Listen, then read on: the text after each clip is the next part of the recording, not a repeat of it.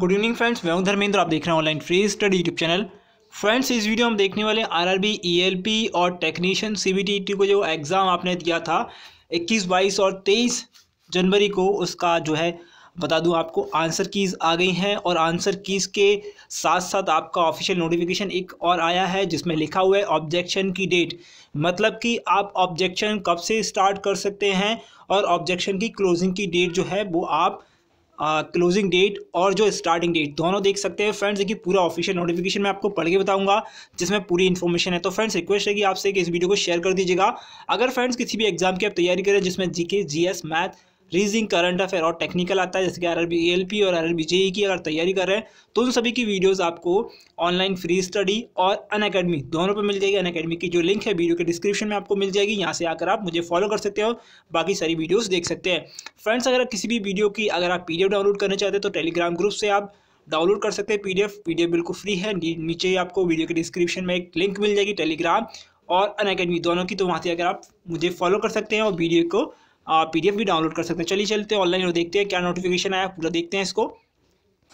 तो देखिए फ्रेंड्स हम लोग आ गए आरआरबी की आरआरबी चंडीगढ़ की वेबसाइट पर, ठीक है? तो यहाँ पर आपको एक नोटिफिकेशन देख रहा होगा, सोलह दो दो हज़ार उन्नीस का। यहाँ पर लिखा है C E N zero one दो हज़ार अठारह second stage C B T notice of viewing of question paper response and answer key raising objection if any question objection की A L P technician posts के लिए ठीक है? तो यहाँ पर क्लिक कर लेते हैं और डाउनलोड कर लेते हैं नोटिफिकेशन और देखिए आप अपनी आंसर की जो हैं आंसर कीज़ आप तब डाउनलोड कर पाएँगे जो आपके पास आ, आपका ईमेल आप जो आपका आईडी पासवर्ड उससे जो डालेंगे उससे डालने के बाद आप वहाँ से आप अपनी आंसर कीज़ देख सकते हैं। तो देखिए यहाँ पर लिखा हुआ है देखिए यहाँ पर देख लेते हैं। तो देखिए, लिखा हुआ है second stage C B T for A L P and technician post जो है वॉज़ कंडक्टेड जो, कब हुआ था? कंडक्टेड 21 को 21 जनवरी 22 और 23 जनवरी को हुआ था। और 8 जनवरी को 8 फरवरी को भी हुआ था, क्योंकि कुछ एग्ज़ाम्स थे वो डिले हो गई थी मतलब उनमें सर्वर में दिक्कत आ गई थी तो उसका, उसके लिए उसको दोबारा से रिशेड्यूल किया था। In order to an enable candidate who appear in this C B T to view their question paper response and answer keys a link has been provided on the website on R R which we which will activate on तो देखिए कब activate हो जाएगी? वो अठारह फरवरी को activate हो जाएगी, ठीक है? और आपका जो अठारह फरवरी को कहाँ से? कब बारह बज के, उनसठ यानी कि रात के बारह बजे, ठीक है? ओके, कब तक चलेगी वो? लिंक चलेगी आपकी बीस फरवरी दो हज़ार उन्नीस तक, ठीक है?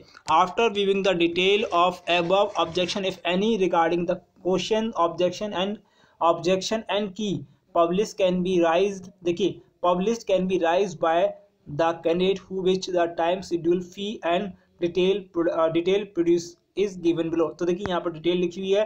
तो देखिए डेट दी हुई है। आपको viewing of question paper response answer key ठीक है?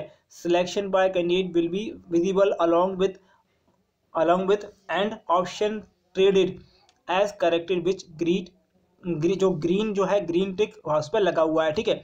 तो देखिए जो ऑनवर्ड मतलब कब सा कब आ जाएगा? अठारह फरवरी 2019 को। आप आंसर कीज वगैरह देख पाएँगे, ठीक है? और ऑब्जेक्शन कर पाएँगे। तो देखिए raising of objection against the question option and answer keys and online fee payment जो होगा, ठीक है? एक ऑब्जेक्शन करने का आई थिंक फिफ्टी रुपीज़ जो है, देखिए यहाँ पर आई थिंक नहीं, यहाँ पर लिखा हुआ नीचे तो फिफ्टी रुपीज़ है, उसका एक ऑब्जेक्शन करने का आपको फिफ्टी रुपीज़ मिले लगेगा। वो बाद में देखेंगे तो कब से देखिए उन्नीस फरवरी से आपका स्टार्ट होगा। ऑब्जेक्शन वो भी दस बजे से सुबह से। ठीक है क्लोजिंग डेट जो दी हुई है, वो बीस फरवरी दी है, रात के बारह बजे तक, यानी कि ग्यारह बज के उनसठ मिनट तक आपको ये सबमिट करना होगा। यहाँ पर देखिए प्रोसीडर लिखा हुआ है मतलब कि प्रोसेस लिखी हुई तो देखिए वो पढ़ लेते हैं, क्या है प्रोसेस तो देखिए fee the prescript fee for raising objection fifty rupees per question in case the objection raise is found to be correct मतलब कि आपने जो ऑब्जेक्शन किया है उसको अगर फाउंड हुआ correct the fee paid against such valid objection such shall be refunded to the candidate मतलब जो होगा रिफंड हो जाएगा। The refund will be made to the account for where the candidate has made the online payment मतलब कि आप जो objection करेंगे उसी ऑब्जेक्शन uh, होने के बाद उसी अकाउंट में आपके पैसे आएँगे। ध्यान रखिएगा, जब आपका ऑब्जेक्शन सही होगा, आपने ऑब्जेक्शन किया है फिफ्टी रुपीज़ आपका लगेगा पर ऑब्जेक्शन का तो उस, जिस अकाउंट से आपने ऑब्जेक्शन किया है, अगर वो सही होता है, तब आपके पैसे जो आएँगे, वो सेम अकाउंट में आएँगे, ठीक है? सेकंड चीज़ लिखी हुई है, देखेंगे two point two for raising objection candidate has to select the question I D from among the drawn drop down ठीक है? List there for in order to raising objection the question I D has to has to be noted for selecting the same the same from the drop down list आपकी मतलब आपको देखिए बता दूँ, आपको एक ऑब्जेक्ट आपको जो क्वेश्चन आईडी होगी, वो लिखना होगा।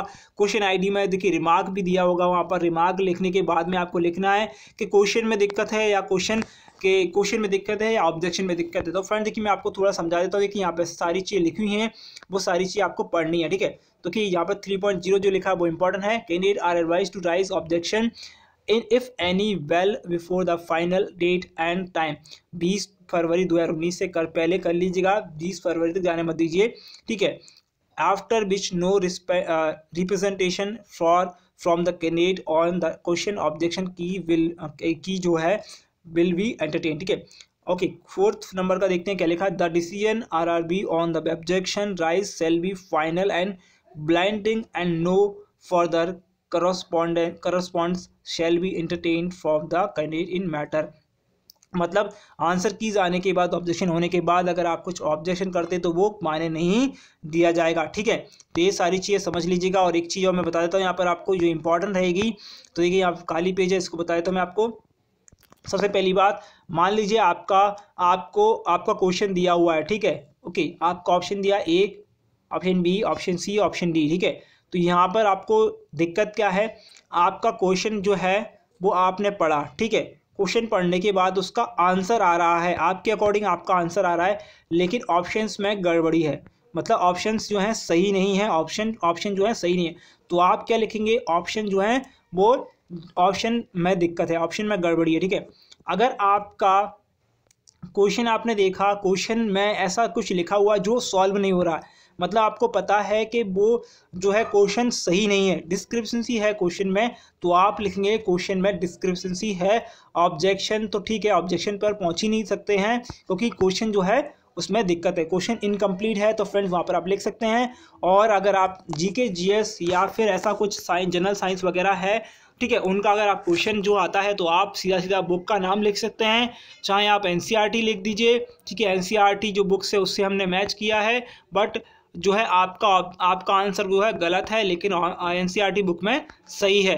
तो फ्रेंड, ध्यान दीजिएगा, वहाँ पर ये चीज़ लिखना ज़रूरी है, क्योंकि वो चेक करते हैं कि ऑब्जेक्शन अगर आपने किया है तो आपका ही फ़ायदा होगा, किसी और का फ़ायदा नहीं होगा। क्योंकि ये आपके ही आंसर की चेक होंगी अगर आप ऑब्जेक्शन करते हैं, और फिफ्टी रुपीज़ आपको लगने हैं, ठीक है? देखिए फ्रेंड्स आई थिंक ये वीडियो आपको समझ में आई होगी। तो देखिए, कुछ क्वेश्चन है जो इंपॉर्टेंट है और आज आज साढ़े दस बजे लाइव को लाइव वीडियो बनाऊँगा फ्रेंड्स मैं लाइव आऊँगा, क्योंकि कुछ क्वेश्चंस जो है इंपॉर्टेंट रहेंगे। अगर आपने एस सी एग्ज़ाम दे रहे हैं या फिर आर आर बी के लिए तैयारी कर रहे हैं तो जी के जी की जो मॉक टेस्ट है, वो मैं करवाता हूँ आपको साढ़े दस बजे लाइव तो फ्रेंड्स आ जाइएगा लाइव तो देखिए क्वेश्चन दिख रहा है आपको। तत्वों के परमाणु के बीच इलेक्ट्रॉनों के हस्तांतरण को, हस्तांतरण द्वारा गठित एक बंद को, यानी बॉन्ड को क्या कहा जाता है? क्या कहा जाता है? कोवालेंट या आयनिक बॉन्ड। क्या कहते हैं? आयनिक बॉन्ड कहते हैं, ठीक है? क्वेश्चन नंबर सेकंड देखिए धनायन जो होते हैं वो किसके द्वारा होते हैं? धनायन मतलब कि धनायन कब होंगे? जब लूज ऑफ़ इलेक्ट्रॉन होंगे मतलब इलेक्ट्रॉन की कमी होगी तब होगा, ठीक है? क्वेश्चन नंबर टू देख, थर्ड देखेंगे। फोर देखेंगे। आयनों का गठन किसके द्वारा होता है? आयनों का गठन किसके द्वारा होगा? गेन ऑफ़ इलेक्ट्रॉन के द्वारा। क्वेश्चन नंबर फाइव देखेंगे। तत्वों के परमाणु के बीच इलेक्ट्रॉनों के बांटने से बनने वाले बंद को क्या कहा जाता है? बंद को क्या कहते हैं? कोवलेंट यानी सह संयोजी बंद। क्वेश्चन नंबर सिक्स देखेंगे तो यहाँ पर एक क्वेश्चन अच्छा है। देखिए, एक एक वह यौगिक जिसमें आयनिक बंद मौजूद है, जिसमें आयनिक बंद मौजूद है तो कौन सा है? C A C L two question number seven देखेंगे, निम्नलिखित में से कौन सा प्राकृतिक में, प्रकृति में पैरामैग्नेटिक है? पैरामैग्नेटिक कौन सा है? जो है ऑक्सीजन, ठीक है? क्वेश्चन नंबर एट देखेंगे, यौगिक जिसमें सहसंयोजी बंद है जिसमें सहसंयोजी बंद किसमें है?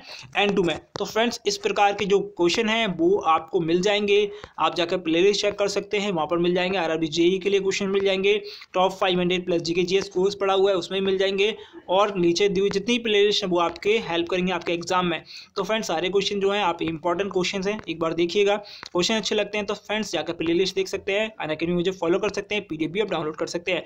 तो फ्रेंड्स अगर आपने इस वीडियो को देख लिया तो जाकर आप प्ले देख ले, देख लीजिएगा। अगर फ्रेंड्स, इस भी अगर आपको वीडियो अच्छी लगी है, अगर जो नोटिफिकेशन है, जो भी इन्फॉर्मेशन वो अच्छी लगी तो मुझे कमेंट करके मुझे बताइएगा। फ्रेंड्स, अगर वीडियो अच्छी लगी तो लाइक करिएगा, जितना सके उतना शेयर कीजिएगा। अपने फ्रेंड्स के साथ में अगर चैनल सब्सक्राइब नहीं सब्सक्राइब कर लीजिए, उसके बाद बेल का आइकन जल्द होएगा thank you friend watching this video best of luck आपके एग्ज़ाम के लिए।